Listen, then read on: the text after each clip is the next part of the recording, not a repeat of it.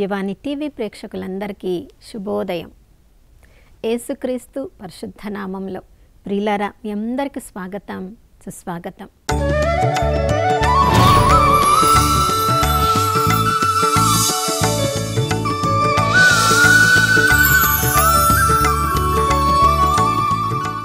గడిచిన దినమంతా కాచి కాపాడిన దేవునికి మనసారా వందనాలు తెలియచేద్దాం. ఈ నూతన ఉదయంలో కూడా నమ్మదగిన దేవుడు విశ్వసనీయుడు. మనందరి మీద నూతనంగా తన ప్రేమను కరుణను కుమ్మరించి ఉన్నారు. ఆ విశ్వాసంలో మనము కూడా నమ్మదగిన వారంగా ఈరోజంతా జీవించుదాం. ప్రిలారా ప్రతిరోజు మన జీవితంలో ఏదేదో తప్పులు ఒప్పులు జరుగుతూ ఉన్నప్పుడు కొన్నిసార్లు మనం చేసిన తప్పుల్ని మనం ఒప్పుకోకుండా ఆ తప్పుల వల్ల ఆ తప్పులు ఇతరుల వల్ల జరిగాయి అన్నట్లుగా ఇతరులను నిందించడానికి ప్రయత్నిస్తాం. చూడండి అందుకనే కొన్నిసార్లు మనము కొన్ని స్థలాలకు వెళ్ళినప్పుడు ఇక్కడ ఆ స్టెప్స్ మీద చాలామంది ఎక్కువ మీద పడిపోయి ఉంటే ఆ మెట్ల మీద ఇక్కడ జాగ్రత్తగా నడవండి ఇక్కడ నీళ్ళు ఉన్నాయి ఇక్కడ పల్లంగా ఉంది అని వాళ్ళు కొన్ని సూచికలను పెడతారు. ఆ సూచిక పెట్టిన తర్వాత కూడా ఎవరైనా అక్కడ నడుస్తూ పడిపోతే దానికి వాళ్ళు మేము కాదు బాధ్యులము అంటారు. ఎందుకంటే ఇక్కడ సూచిక పెట్టాము కాబట్టి మీ అంతటా మీరే జాగ్రత్త వహించవలసి ఉంది అని వాళ్ళు మనకి ఇండైరెక్ట్గా చెప్పినట్లుగా ఈ లోకంలో అలాంటి సూచికలను మనం ఎన్నో చూస్తూ ఉంటాం. మరి చూడండి మనం బయటికి వెళ్తున్నప్పుడు మన తల్లిదండ్రులు ఎన్నో సూచికలు మనకు చెప్తూ ఉంటారు. జాగ్రత్తగా వెళ్ళాలి ఎక్కడ దిగాలి ఎక్కడ ఎక్కాలి? ఎవరితో స్నేహం చేయాలి? ఎవరితో స్నేహం చేయకూడదు? చూడండి కొన్నిసార్లు మన జీవితము తప్పుడు మార్గంలో వెళ్ళిన తర్వాత అది ఎందుకు అలా జరిగిందో మనకు తెలియనప్పటికీ మన తల్లిదండ్రులు మన జీవితంలో మన మనకున్న పరిస్థితిని బట్టి చూడు నువ్వు వెళ్ళిన ఈ చెడు స్నేహం వలన నీకున్న ఈ చెడు అలవాటు వలన నీ పరిస్థితి ఎలా మారింది అని అన్నప్పుడు అది ఆ చెడు స్నేహం ఏర్పరచుకున్నది మనమే. ఆ చెడు అలవాటులోనికి వెళ్ళింది మనమే. కానీ మనము చేసిన తప్పుని మనం గ్రహించకుండా ఆ చెడు స్నేహితుల వలన ఆ చెడు వాటి వలన అని చెప్తాం కానీ మనలో మన యొక్క బాధ్యతను మనం తీసుకోవడానికి మనం ప్రయత్నించడం. కానీ ప్రియులారా యేసు ప్రభు కూడా ఈ లోకంలోనికి వచ్చినప్పుడు తండ్రికి ప్రియంగా ఈ లోకంలో ఎలా జీవించాలో తన జీవిత విధానం ద్వారా ఎలా మనం జీవిస్తే తిరిగి నిత్య జీవంలోనికి మనం వెళ్ళవచ్చు అని తన జీవితం ద్వారా మనకు చూపించారు. కాబట్టి ప్రియులారా ఈ లోకంలో మనం జీవిస్తున్నప్పుడు మన జీవితము తండ్రికి ప్రీతికరంగా లేనట్లయితే మనం ఇతరుల మీద ఆ నిందలు వేయడానికి మనకి ఆస్కారమే లేదు. చూడండి యేసు ప్రభువు కూడా మనం ఈ లోకంలో జీవించిన జీవిత విధానాన్ని బట్టి ఒకరోజు రెండవ రాకడలో మన మీద నిందలు మోపడానికి ప్రభు సిద్ధంగా ఉన్నారు. కానీ ఆ ప్రభువు చూపించిన మార్గంలో మనము నడిచినట్లయితే ఏ నిందలు కూడా ఎవరు కూడా మనం వేయడానికి మనకి ఎవరికి కూడా మనము ఆస్కారం ఇచ్చినట్లు కాదు. జర్మనీలోని ఒక కథిడ్రల్లో శాసనాలుగా గోడల మీద ఇలా వ్రాయబడి ఉన్నాయంట ప్రిలారా అవి స్వయంగా యేసుప్రభు యొక్క మాటల్లాగా అక్కడ అందరు కూడా చదివి వాటి వైపుకు ఆకర్షింపబడతారంట. ఎందుకంటే మొట్టమొదటి లైన్లో అక్కడ ఏమి వ్రాయబడిందంటే నన్ను నిందించవద్దు. ఎప్పుడు దేవుడు నన్ను నిందించవద్దు అని అంటున్నాడంటే రెండవ రాకడలో నేను మిమ్మల్ని మీపై తప్పొప్పులు చూసినప్పుడు అప్పుడు మీరు నన్ను నిందించవద్దు. దాన్ని పూర్తిగా చదివినప్పుడు మనకి ఏం అర్థమవుతుందంటే నేను మీకు మార్గము అని మీకు తెలుసు. అయినప్పటికీ కూడా మీరు నేను నడిచిన మార్గంలో మీరు నడవడానికి ఇష్టపడరు. కానీ రెండవ రాకడలో నేను నడిచిన మార్గంలో మీరు నడవలేదు అని నేను మిమ్మల్ని తీర్పు తీర్చినప్పుడు అది తప్పు అని మీరు నన్ను నిందించవద్దు. నేను సత్యమని తెలుసు. నేను మాట్లాడిన మాటలన్నీ కూడా సత్యమైన మాటలే అని మీకు తెలుసు. అయినప్పటికీ కూడా ఆ సత్యమైన మాటల్ని మీరు పలకడానికి ఇష్టపడనప్పుడు రెండవ రాకడలో ఆ తీర్పు రోజున నేను మేము నిందించినప్పుడు మీరు నన్ను నిందించవద్దు. నేనే జీవము నిత్య జీవానికి నేనే మార్గమని మీకు తెలుసు. కానీ ఆ నిత్య జీవానికి వెళ్ళడానికి నేను నడిచిన మార్గంలో మీరు నడవడానికి ఇష్టపడరు. కానీ రెండవ రాకడలో ఆ తీర్పులో మీరు నిత్య జీవానికి అర్హులు కాదు అన్నప్పుడు మీరు నన్ను నిందించవద్దు. నేను జ్ఞానమునకు నిధి అని మీరు అంగీకరిస్తారు.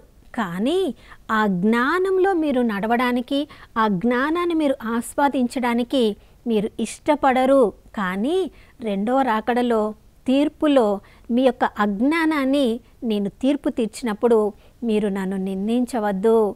నేను శక్తిమంతుడనని మీరు అంగీకరిస్తారు.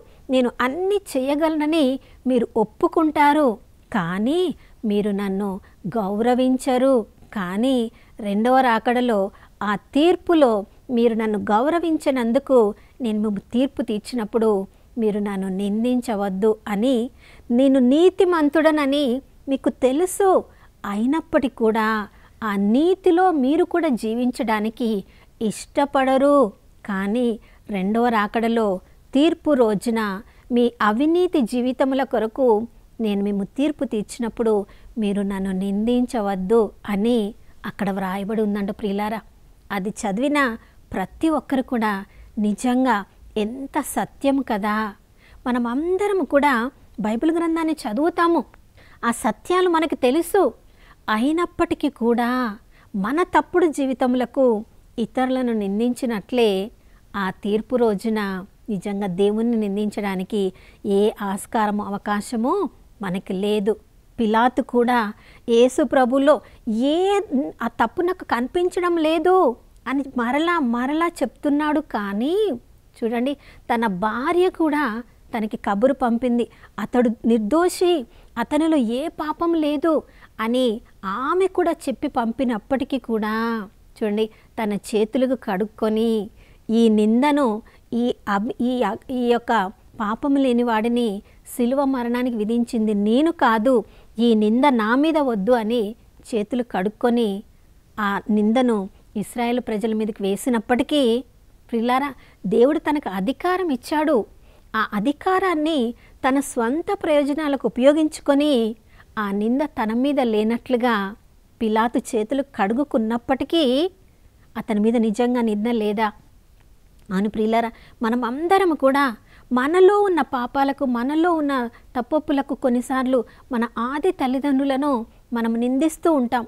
వారే తప్పు చేయకపోయినట్లయితే వారే దేవునికి అవిధేయత చూపించినట్లయితే వారే సరిగ్గా దేవుడు చెప్పిన ప్రకారం జీవించినట్లయితే ఇంత పరిస్థితి మనకు వచ్చేది కాదు కదా. చూడండి ఏదో ఒక పరిస్థితులలో అందరం కూడా మన ఆది తల్లిదండ్రులను తప్పు పట్టడానికి మనం చూస్తూ ఉంటాం. ఒక ఒకరోజు ఒక ఫాదర్ గారి దగ్గర తనకు వంట చేసి పెడుతున్న ఒక అమ్మమ్మ ఇదే విధంగా ఆ ఫాదర్ గారితో మాట్లాడిందంట. ఎందుకు ఆ ఏమమ్మ అలా చేసిందో ఎందుకు ఆ ఆదాము అలా చేశాడో ఎన్ని కష్టాలు మనకు వస్తున్నాయి కదా ఫాదర్ గారు ఫాదర్ ఆ తప్పు వాళ్ళు చేయకుండా ఉంటే మనకి ఎంత బాగుండేది కదా అని చెప్పినప్పుడు ఆ అమ్మమ్మకి ఒక పాఠం నేర్పించాలని ఆ ఫాదర్ గారు ఏం చేశారంటే ఒక కోడిని తీసుకొని వచ్చి ఒక గంప కింద మూసివేసి అమ్మమ్మ రాకముందే ఆ పని చేసి అమ్మమ్మ వచ్చిన తర్వాత నేను వేరే ఊరికి పూజకి వెళ్తున్నాను నేను మధ్యాహ్నం వరకు వచ్చేస్తాను ఇది నేను గంప కింద నేను ఒకటి ఉంచాను దీన్ని ఇలాగే ఉంచు నేను వచ్చిన తర్వాత దీని పని చూద్దాము అని చెప్పి ఫాదర్ గారు వెళ్ళిపోయారంట ప్రియులారా. ఆ అమ్మమ్మకి చాలా ఆతృత. కిచెన్లో ఉందంటే అది నాకు తెలుసు. కిచెన్లో ఉన్న ప్రతి వస్తువుని ఉపయోగించేది నేను. ఈ కిచెన్లో ఇది ఏమి దాచారు ఫాదర్ గారు? ఈ గంప కింద ఏం పెట్టారు? ఎందుకు నాకు చెప్పకుండానే వెళ్ళిపోయారు? అని చాలాసేపు దాన్ని కానీ ఫాదర్ గారు దాని గురించి ఏం చెప్పలేదు కదా? నేను చూడకూడదు అని అనుకొని కొద్దిసేపు తన ఇంటికి వెళ్ళిపోయిందంట. మధ్యాహ్నం వస్తా అన్నారు కదా అని మరలా వచ్చినప్పుడు అప్పటికి ఇంకా రాలేదు. అయ్యో ఫాదర్ గారు రాలేదు. అక్కడ ఏముందో చెప్పలేదు. ఇది ఏంటి పరిస్థితి అని ఇక చూడకుండా ఉండలేక ఆగబట్టలేక ఎంతో తన్ను తాను నియంత్రించుకొని చూడకుండా ఇంటికి వెళ్ళిందంట. ఇక సాయంత్రం అయినా ఫాదర్ గారు రాకపోయేసరికి ఇంకా రాలేదు కదా ఏదైతే అది అయిందని అదేంటో నేను చూసి తీరాలని చెప్పి ప్రిలారా ఆ గంపర్ని పైకి లేపినప్పుడు దాని కింద ఉంది కోడి పెట్టాన్ని చూసి ఏమీ తెలియనట్లుగా మళ్ళీ గంప మూసేసి ఇంటికి వెళ్ళిపోయిందంట. ఇక సాయంత్రం పూట తర్వాతనే ఫాదర్ గారు వచ్చి అమ్మమ్మను పిలిచినప్పుడు ఆ అమ్మమ్మలో ఏ ఆతృత లేదు ఏ ఆదుర్ద లేదు ఆ గంప కింద ఏముందో తెలుసుకోవాలని ఏ ఏ- విధంగా ఆమె ప్రయత్నించడం లేదు. అప్పుడే ఆ ఫాదర్ గారికి తెలిసిపోయిందంట. అంటే అమ్మమ్మ దాని కింద ఏదుందో చూసింది అని గమనించి ఏమీ తెలియనట్లుగా ఆ ఫాదర్ గారు ఉన్నారంట. తర్వాత కొద్దిసేపటి తర్వాత ఆ అమ్మమ్మని నెమ్మదిగా అడిగారంట. ఆ గంప కింద ఏముందో చూసావా అమ్మమ్మ? అంటే అవును ఫాదర్ చాలాసేపు ప్రయత్నించాను దాన్ని తెరిచి చూడొద్దు అని. మధ్యాహ్నం వరకు సాయంత్రం నాలుగు గంటల వరకు కూడా ప్రయత్నించాను కానీ దాని తర్వాత ఇక ఉండలేకపోయాను. దాని కింద ఏముంది అని చూశాను. చూడు ఒక్కరోజు నేను కొద్దిసేపు నేను ఇంచి నేను కొంచి ఇది చెయ్యవద్దు అని చెప్తే నువ్వు దాన్ని చెయ్యకుండా ఉండలేకపోయావు. ఆదాము ఏవమ్మని మాత్రము వాళ్ళు చేయకుండా ఉండుంటే ఈ పరిస్థితి అంతా వచ్చేది కాదు అని వాళ్ళని నిందిస్తున్నావు. ఇతరులను నిందించడము మనకి చాలా చాలా సులభమైన పని. కానీ అదే పరిస్థితిలో మనము ఉన్నప్పుడు మనము మాత్రము దాన్ని చేయకుండా ఉండలేము అనే సత్యాన్ని క్రియారూపంలో ఆ అమ్మమ్మకి నేర్పించారంట. నా ప్రియ సహోదరుడు సహోదరి మనందరి జీవితంలో కూడా దేవుడు మనల్ని నిందించవద్దు అంటే మనము కూడా ఆ పరిస్థితిలోనికి వెళ్ళకుండా ఉండడానికి దేవుడు ఏమి చెయ్యవద్దు అన్నాడో అది చెయ్యకుండా ఉండడానికి ప్రయత్నించాలంటే మన హృదయము మంచి వాటితో నింపుకోవాలి. ఫిలిపుల క్రాసిన లేక నాలుగో అధ్యాయం ఎన్నో ఎనిమిదో వచనంలో మంచియు స్థుతిపాత్రములైన వాటితో మన హృదయంలను నింపుకోవాలంట. స్వచ్ఛము సుందరము గౌరవమైన వాటితో మన హృదయాలను నింపుకున్నప్పుడు ప్రియులారా ఆ వాక్యము సత్యము మనల్ని నడిపించినప్పుడు ఇతరులను నిందించవలసిన అవసరము మనకి రాదు. దేవుడితో నిందింపబడే అవసరము కూడా మనకి రాదు. కాబట్టి ఆ నిందలు అనే పరిస్థితి మనకు రాకుండా ఉండాలంటే ప్రిలారా అందరం కూడా ఏదో ఒక దోషము ఏదో ఒక నింద ఇతరులు మన మీద వేస్తారు మనం ఇతరుల మీద వేస్తాము. కానీ అలాంటి పరిస్థితులలో అసంతృప్తిగా ఉండకుండా అంతటితోటి ఆగిపోకుండా మన పరిస్థితిని అంతా ఏసు ప్రభు దేవుని దివ్య గొర్రెపిల్ల మీద మనము మోపినప్పుడు ఆ ప్రభు యొక్క పరిశుద్ధ రక్తము మనల్ని స్వతంత్రులను చేయును. దేవుని కుమారుడు ఎవరెవరిని స- సత్యంలోనికి నడిపించినప్పుడు ఆ సత్యము మనల్ని స్వతంత్రులను చేయను. నిర్గం లేవి కాండం పదహారో అధ్యాయం ఎనిమిదో వచనంలో పాత నిబంధన గ్రంథంలో పాత నిబంధనలో ప్రజలు తమ పాపములన్నిటిని కూడా ఆ గొర్రె పొట్టేలి మీద మేకపోతు మీద వాళ్ళు మోపి దాని ఎడారిలోకి వదిలేసి పాపములన్నీ కూడా వాళ్ళు తొలగిపోయాయని సంతోషించే రోజుల్లోనే వాళ్ళు ఏ నిందలు లేకుండా ఉన్నప్పుడు స్వయాన యేసు ప్రభుల వారే మన కొరకు దేవుని గొర్రెపిల్లగా ఈ లోకంలో తనను తాను అర్పించుకున్నప్పుడు ఆ పరిశుద్ధ రక్తంతో మనల్ని శుద్ధి చేసుకున్నప్పుడు ప్రిలారా నిందలు లేని జీవితాన్ని ఈ లోకంలో మనము జీవించవచ్చు. అప్పుడు రెండవ రాకడలో తీర్పు రోజు ఏ రోజైనా కావచ్చు.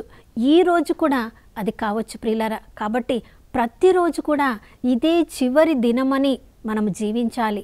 అలాంటి పరిస్థితులలో ఆ పరిశుద్ధ రక్తాన్ని ప్రతిరోజు మన మీద చిలకరించుకొని ప్రతి పరిస్థితిని ఆ దేవుడిలో శుద్ధి చేసుకొని వాక్యము ద్వారా మనం సత్యములో నింపబడినప్పుడు ఆ సత్యము మనల్ని స్వతంత్రులను చేయను. అటువంటి అటువంటి స్వతంత్రమైన జీవితాన్ని ఈ రోజంతా మనము జీవించడానికి కావలసిన కృపను దయచేయమని ప్రార్థించుకుందాం. నాతో కలిసి ప్రార్థించండి. పరిశుద్ధమైన దేవానికి స్తోత్రములు తండ్రి.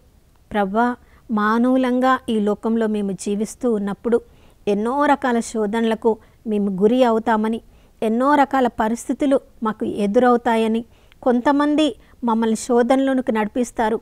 కొంతమందిని మేము శోధనలోనికి నడిపించవచ్చు అని ఈ లోకంలో నేత్రాస శరీరాస జీవపు డంబానికి మేము లోలైనప్పుడు ప్రభా అయ్యా ఆ కలిగిన ఫలితాల వలన మేము నిందింపబడకుండా ఇతరులను మేము నిందించకుండా స్వతంత్రమైన జీవితాన్ని మేము జీవించడానికి కావలసిన నూతన కృపను ఈ ఉదయకాలంలో మాకు అనుగ్రహించండి ప్రభా.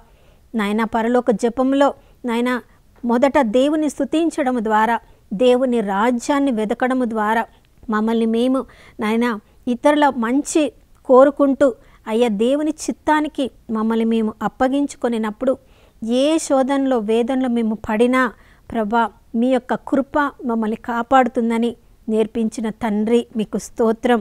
నాయన ఈరోజు ఏ రకమైన శోధనలో మేము పడకుండా ప్రభా అయ్యా మీ కృప మమ్మల్ని ఆవరించునుగాక. ఏసయ్య పరిశుద్ధ నామంలో అడిగి వేడుకొనిచున్నాం తండ్రి. ఆమె అవును ప్రియులారా అందుకని పరలోక జపములు ప్రతిరోజు మనం చెప్తున్నాం కదా మేము శోధనలో పడనీయక కాపాడి మమ్మల్ని సరియైన మార్గంలో నడిపించమన్న ఆ వాగ్దానం ఈరోజు మనందరిలో నెరవేరునుగాక. మరొక నూతన శుభోదయంలో మనం కలుసుకునే వరకు దివ్యవాణి టీవీని వీక్షిస్తూ ఉందాం. ఇమానియేలు దేవుడు మనతో ఉన్నారు.